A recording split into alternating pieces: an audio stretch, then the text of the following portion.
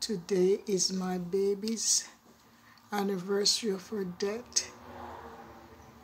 It is my two grandchildren's birthday when she died.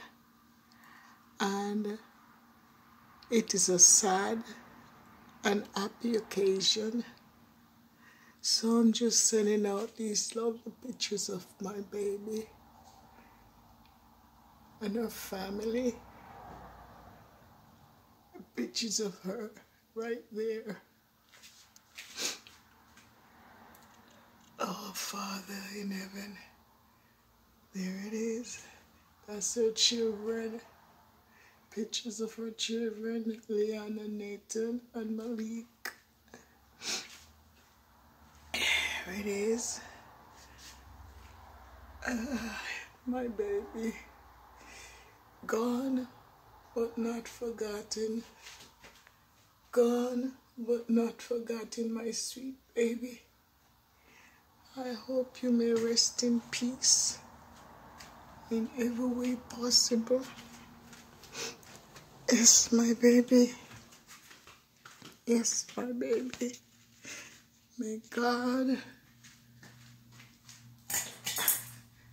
on the day of resurrection, I hope to see you, my baby. I really hope to see you on that beautiful day of resurrection.